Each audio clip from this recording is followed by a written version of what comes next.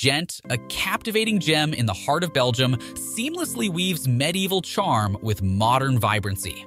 With its picturesque canals, historic architecture, and bustling squares, the city offers an enchanting journey through time and culture.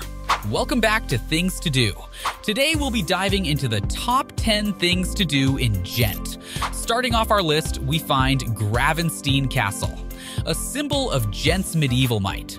Gravensteen Castle boasts battlements, towers, and a moat that transports visitors back to the Middle Ages. Within its stone walls, one can discover a rich history of counts, battles, and intrigue. The panoramic views from the top offer a spectacular vista of the city. Claiming the ninth spot is St. Bavo's Cathedral. A masterpiece of Gothic architecture, St. Bavo's Cathedral stands as a testament to Ghent's religious and artistic heritage. It houses the world famous Ghent altarpiece, an astonishing work of the Van Eyck brothers, and other invaluable art pieces. Taking the eighth position is Graslei and Korenlei. Nestled along the Lys River, Graslei and Korenlei are two picturesque streets lined with historic buildings, reflecting Ghent's past as a trading metropolis. Today, these riverbanks serve as popular gathering spots, filled with cafes, vibrant terraces, and a backdrop of stunning architecture. Next up in seventh is Ghent Belfry. Rising majestically above the city, the Ghent Belfry stands as a symbol of the city's independence and pride. Visitors can ascend the tower for an unrivaled view of Ghent, while also exploring the various historical rooms along the way. Emerging at sixth is the Museum of Fine Arts. Showcasing a rich collection that spans from the Middle Ages to the mid 20th century, the Museum of Fine Arts in Ghent offers art enthusiasts a journey through European painting history.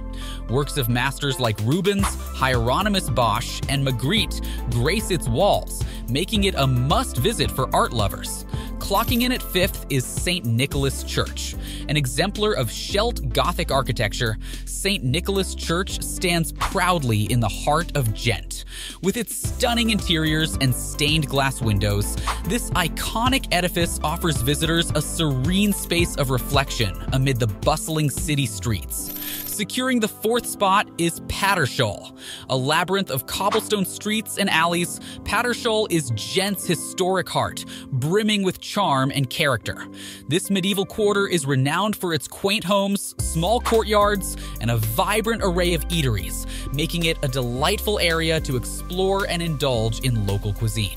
Making its market third is the Design Museum Gent. Celebrating both the past and future of design, the Design Museum Gent features a unique blend of historical artifacts and cutting edge contemporary pieces.